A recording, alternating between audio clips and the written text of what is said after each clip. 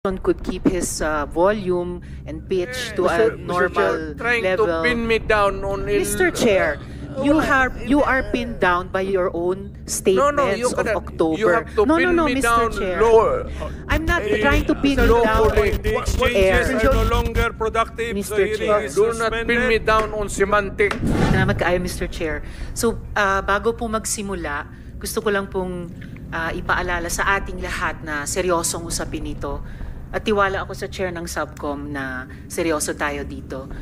At hindi ko po na-appreciate ang napaka-casual, napaka-casual na mga sagot ah, ni dating presidente tungkol sa patayan. At tumatawa at pumapalakpak pa ang ah, ilang kasama dito sa session hall. So siguro tigilin na natin yung nakasanayan natin na normalize at gawing katatawanan ng patayan. Um, uh, sir, uh, sabi nyo, when you are confronted by a criminal, you must overcome the resistance. Ibig po ba sabihin na lahat ng na EJK may barel? Kasi kung gano'n, nasa na po kaya yung mga barel? Eh, dapat may libo-libo ng baril sa custody ng PNP. Do you have any thought on that? No, that that is uh, that uh, you're asking somebody somewhere or to make an accounting which is not possible. Uh, that your question cannot be answered here.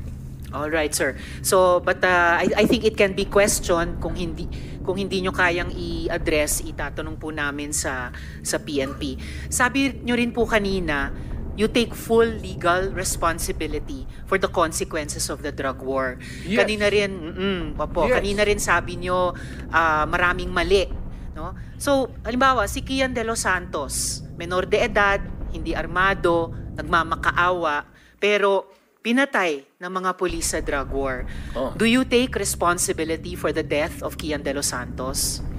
The criminal act, hindi naman siguro. The death, the death. That- You take that- that- responsibility for his death. Da- walang maniwala na abogado sa akin yan. That Hindi po sir, hindi po abogado, nandito pa lang tayo I sa was Senado, hindi sa referring Korte. to the policy na ginawa ko para sa mga pulis. Yes, sir. Sabi At ko, nagbunga "Purtat, yung I full polisiya." take full responsibility Yes, and that. what about yung bunga ng polisiya na libo-libong namatay kasama si Kian de los Santos? Do you also take uh, full responsibility for that? Because in October 2020, na-quote po kayo na sinabi nyo, if there's killing there, I'm saying I'm the one. You can hold me responsible for anything, any death that has occurred in the execution of the drug war. Nung October ulit, 2020, October 21, nung 2021 naman, in a Reuters interview, kinwote kayo na sinabing, if there is any person who is going to prison, it would be me. I assume full responsibility. So, do you assume responsibility for the death of Kian de los Santos? Mr. No. Chair? No. How about Ala- si Carl Anthony alam mo ma'am, teka, Nunez? before you rumble on those many things, No, no, no. I'm not rambling, Mr. Chair. Very specific yung mga tanong the ko. specific ang law, guilt is personal. Tanong ka muna ng abogado. Ah, Okay lang po. Pa- Kayang-kaya kong magtanong sa abogado. Ah, eh, Sige, ta- ka itanong muna ko ngayon po. before we proceed. No, no, no. Hindi tayo I already I magkakaintindihan have prepared dito. these questions with my Guilt legislative is staff. personal.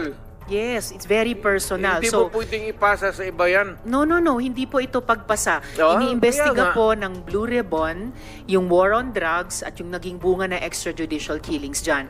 And I am basing my question dun sa mga sinabi ninyo repeatedly, parang tuwing Oktubre nga sinasabi nyo, na you will take responsibility. Correct. So, yes. So now let me ask you about Carl Anthony Nunez, 20 years old. Walang nahanap na droga o baril sa katawan niya.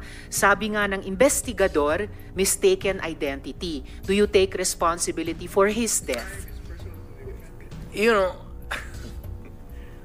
ma'am, uh, can I uh, ask for a recess of just It's all right, minutes? Mr. Chair. Yes, yes, yes. Uh, so, uh, hearing is suspended. Ang tanong ko po ay, if you take responsibility, as you said in October 2020, as you said in October 2021 about assuming responsibility for the war on drugs, do you take responsibility for the death of Carl Anthony Nunez, Mr. Chair? Alam mo, yung, yung policy, ma'am, uh, uh, hindi mo nakuha yung ano yung policy ng presidente. Nakuha ko po, policy I maker was din po talking ako. about the policy. I take full responsibility yung sinabi ko na war on drugs. You said, Pero sir, you can hold me responsible for any death. specific crime, Yes, sir. You spoke hindi about pwede yan. you spoke about At specific saka, crimes. kung sabihin ko, I will take full responsibility, magdating tayo sa korte, hindi naman tatanggapin yan.